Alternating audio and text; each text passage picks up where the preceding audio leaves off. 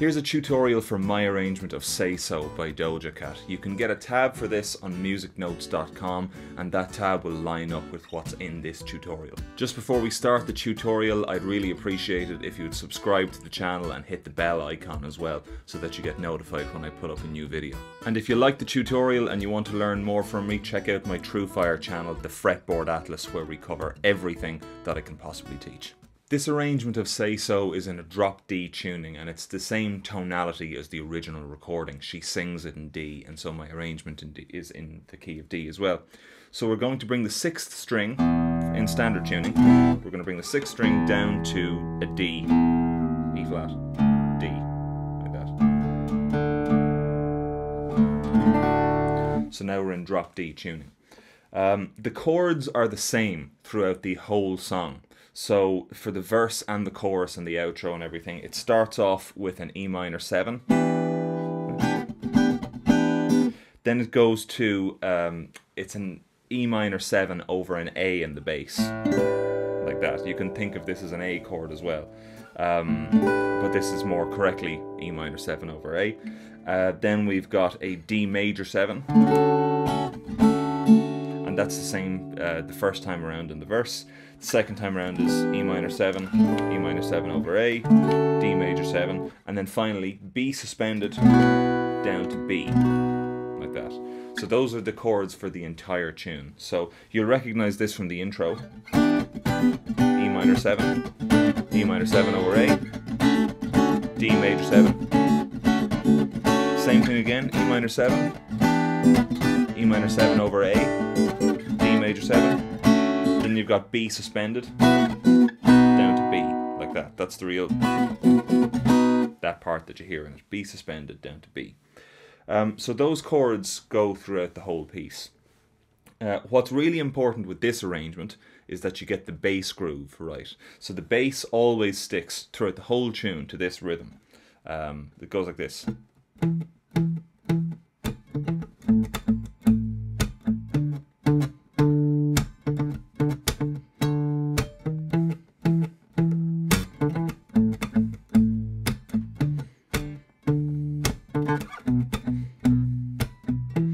See, you see there the the notes change, but the rhythm, the, the groove behind it is always the same.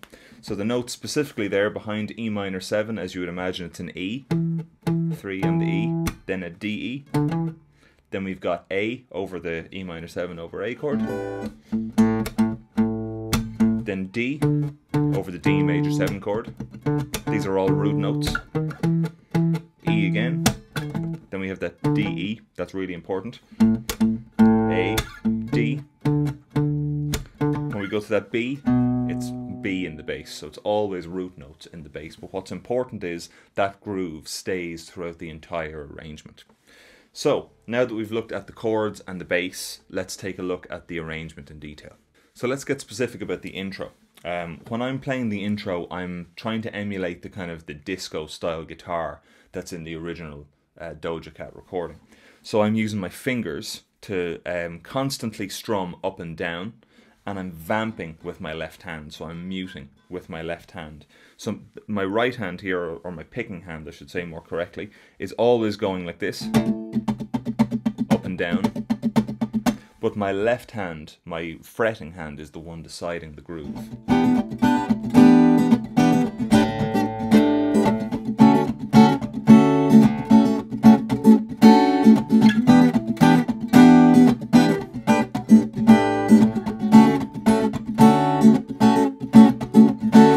Pressing down with my left hand when I want to hear the chord ring out, and otherwise I'm using my left hand to mute the strings. This is known as vamping. Um, so to get specific, uh, that chord E minor 7, uh, up here fret by fret starting from the 5th string, that's the uh, 7th fret, 9th fret, 7th fret, 8th fret, 7th fret. Then uh, E minor 7 over A, we've got uh, going from the open A string, we've got uh, an A, which would be a zero on the tab, seven, seven, eight, seven, like that, like that. Then we've got a D major seven here. So that's from the uh, fifth string again, fifth fret, seventh fret, sixth fret, seventh fret, and then fifth fret, like that. So E minor 7, E minor 7 over A, D major 7. Um, and that's the, the whole intro section, just those three chords.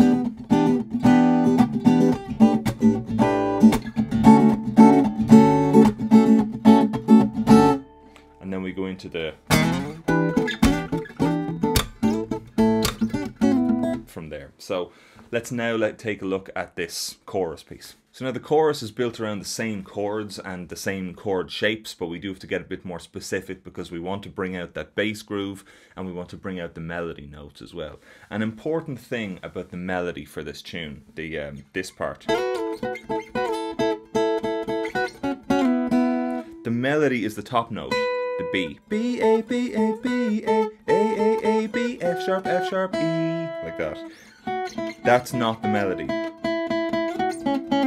That's the harmony line. This is done in fourths. Like that. So you have to be conscious that that B note, that's actually your melody here.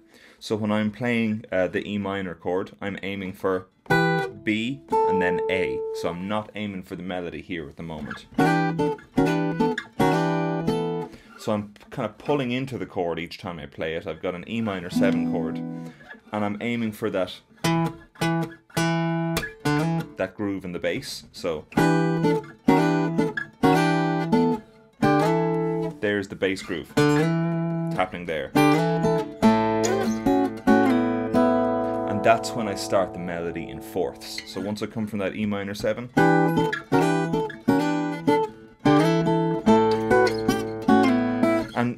be conscious that you're picking out all of these notes. You really want that melody to stand out and if you depend on hammer-ons and slides and stuff like that it won't come out as clearly as it could um, if you picked every note. So um, like that. I'm really getting them all to stand out there by picking them. Okay one slide there. But that's kind of okay um, so then moving on from there uh,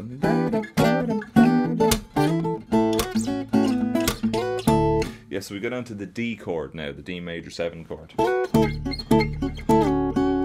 So what's happening here is I'm keeping the melody in fourths.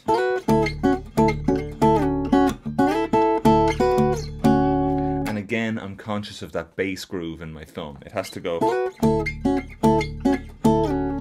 That's all on the beat. One, two, three, and then off the beat. So you see there it's kind of boom, boom, boom, that's on the beat.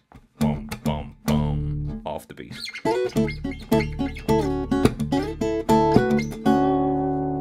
And just a little important thing there. Uh, I didn't realize I did this, but I do this.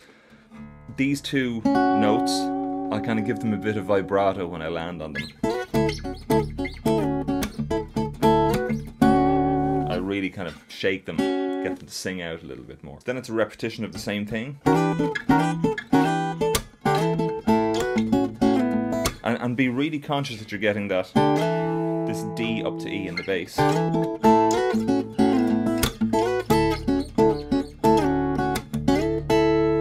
here's where it changes.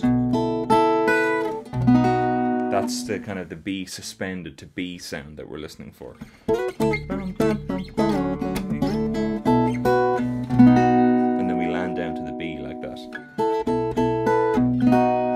I think in the video I do it this way. And, and so once I get up to that original melody note, the B, I land back down on a B major. Like that. Um, and then we do all of what we've just covered again once more.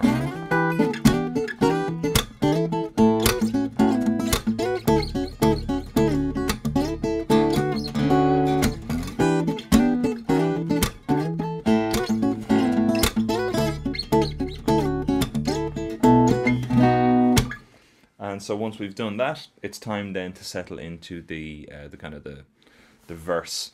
Um, you could think of it as a bridge as well, but the verse um, section. One thing I'll explain just before I go into that, you'll notice as well that I've got a backbeat going on. It's like the one, two, three, four. On the two and the four, I've got my thumb coming in on the backbeat.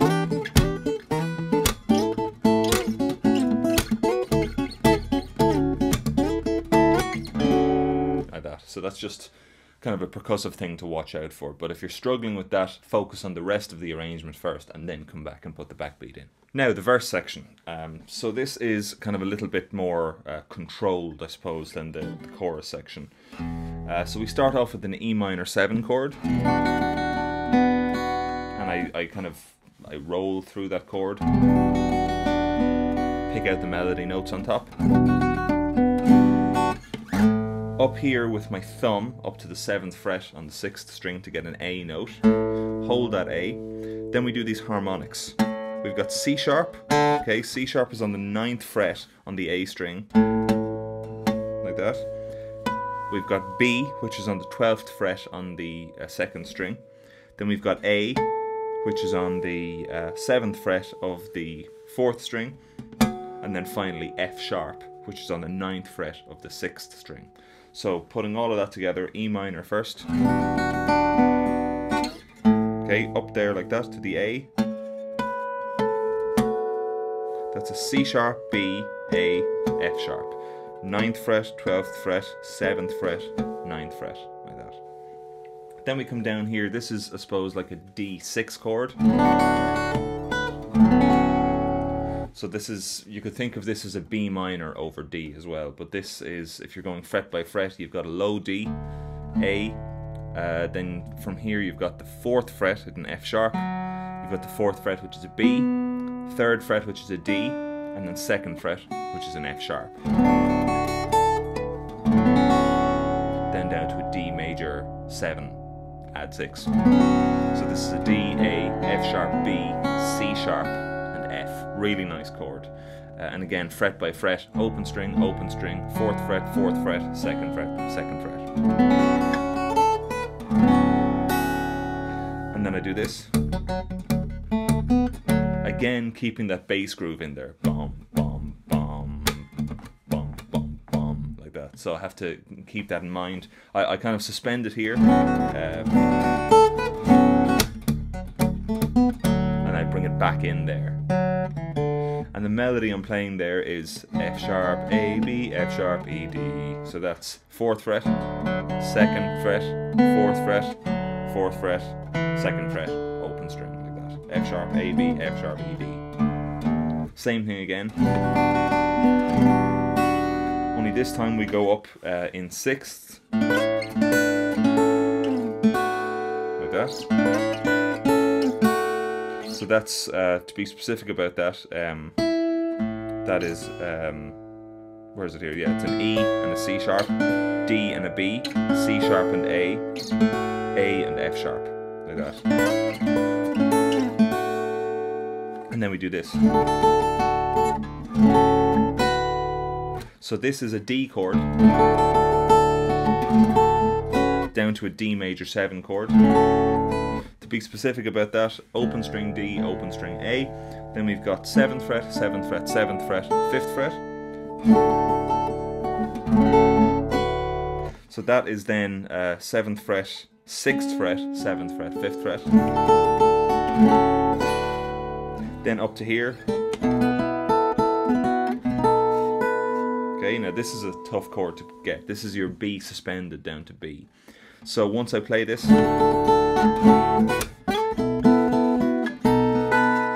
so this is, and my guitar is rattling a bit today. Um, this is my thumb on the ninth fret, B here.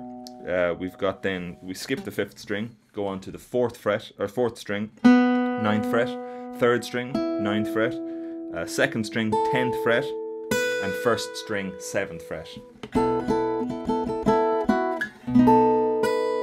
And then so that second chord uh, finger goes down here to the 7th fret on the 6th string, A down to F sharp. Then the change happens here. So once I hit that melody note again, I'm changing the shape here. 9th fret, skip it, 9th fret, 8th fret. Okay, this is what gives it the, the B sound. That's a suspended, that's a B. So so my full chord there that I end up playing is 9th fret, skip it, 9th fret, 8th fret, 10th fret, 7th fret. It's a big fistful of a chord. So moving on from there, uh, we've got um, th- the next part, which is like. uh,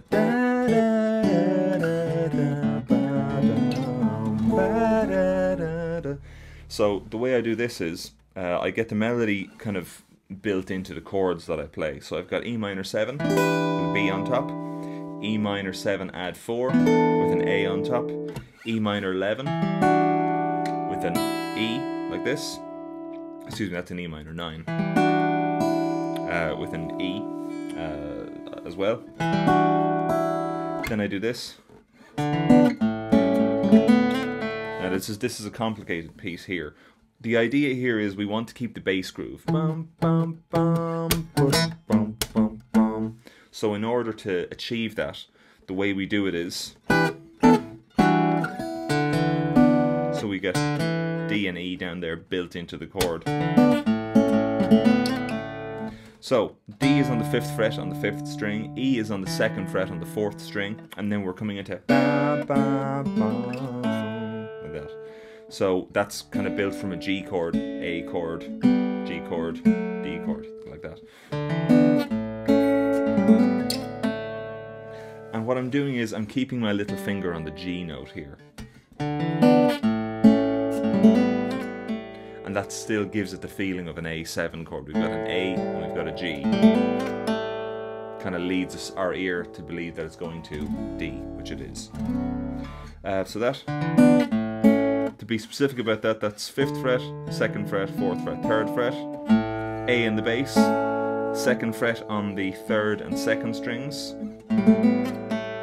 Then this part is tough. We keep our little finger on the G here, this finger on the A, and we do a pull out or kind of a, a slide with this finger, with the third finger.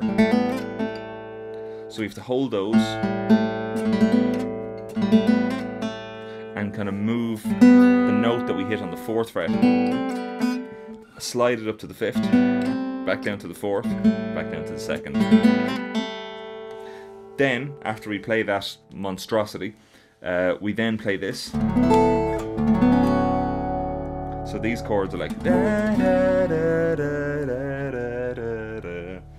Um, so this, I suppose, you would call a um, like a D6. It's got a nine in it as well, a D6 nine chord. Back to D major seven, add six. So in slightly less technical terms, uh, we've got open D, open A, then we've got fourth fret, fourth fret, fifth fret, fifth fret, open D, open A, fourth fret, fourth fret, second fret, second fret, like that. Then we play this. So that's D. It's uh, kind of a quick slide on the E, up to the F and back down, landed on the D. C sharp then on the third string, sixth fret, open B string, A on the seventh fret on the D string, and then finally landing on the F sharp. So all of that together.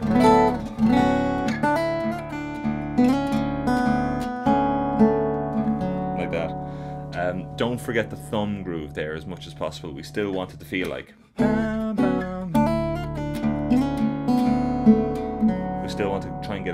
Thumb groove in there as we can. It's a little bit difficult to coordinate that, um, but you'll get it with practice. And then we go back up to our E minor again.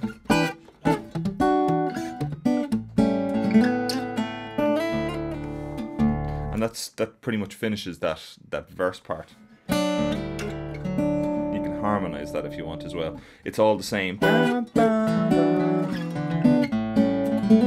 We've just been through all that, and then we play this. So that's harmonized. That's the uh, third string, or sorry, the second string and the fourth string together. Fifth fret, up to the sixth, back down to the fifth. Then we've got the fourth fret, uh, fourth fret and third fret together. So it's uh, like an E with a G underneath, then half step up, then it's a D with an F sharp underneath. And then the same thing we did at the start. Uh, B suspended to B. So coming up here to our F sharp, we play our B suspended chord. So that's 9th fret, skip a string, 9th fret, 9th fret, 10th fret. melody is 10 down to 7, up to 10, across to 7. So that's A, F sharp, A, B. And when we hit that C sharp, we play this B7 chord. This is 9th fret, skip it, 9th fret, 8th fret, 10th fret, 9th fret. That's a B7 chord. Back into the intro, or back into the chorus.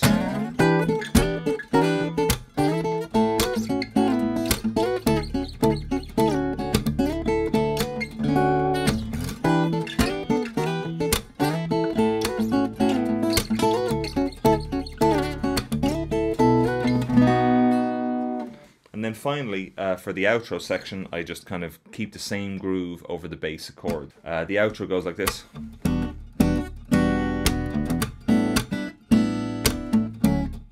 That's kind of the fade out of the video. So I'll bring you through it chord by chord. Uh, the first chord, uh, if you're looking at frets, you're looking at second fret, second fret, fifth fret, fourth fret, third fret, second fret. So there's a bar going along the second fret here. This gives us an E minor 9 chord. We've got E, B, G, B, D, and F sharp. And I'm conscious of keeping the groove going here. So my fingers are copying the bass groove in the um, in the outro. It's going like this.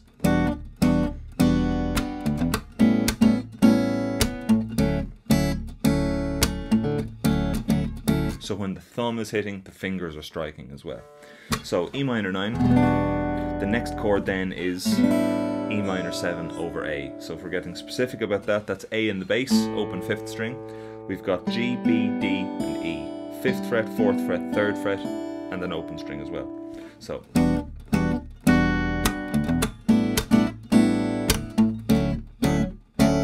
So now we've got D major 9. So that's D, A, F sharp, A, C sharp, and E. Fret by fret, that's an open string, open string, 4th fret, 2nd fret, 2nd fret, open string, like that.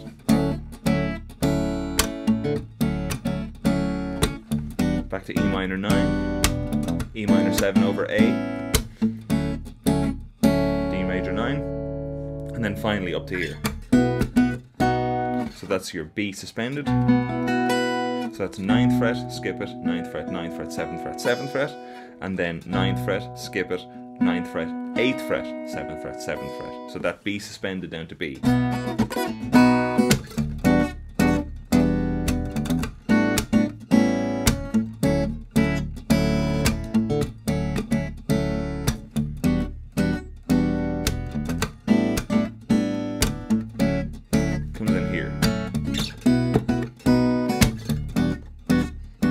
and I just let that fade out in my arrangement. I think it does in the original as well. Um, and that's the entire arrangement of uh, Say So by Doja Cat. As I said at the beginning, you can get a tab for this on musicnotes.com that lines up with what I'm playing. If you want one on one lessons, I offer those, or if not, you can look at my teaching platform, the Fretboard Atlas, which is hosted on truefire.com, where we go over anything and everything that I'm able to teach. We cover a lot of different original songs of mine. We cover Irish traditional music, guitar grooves, arranging for the guitar, lots and lots of different kinds of things um, like that on the channel. So if you're interested in that, please do go and check it out. Hope you liked the tutorial. I'll see you again very soon.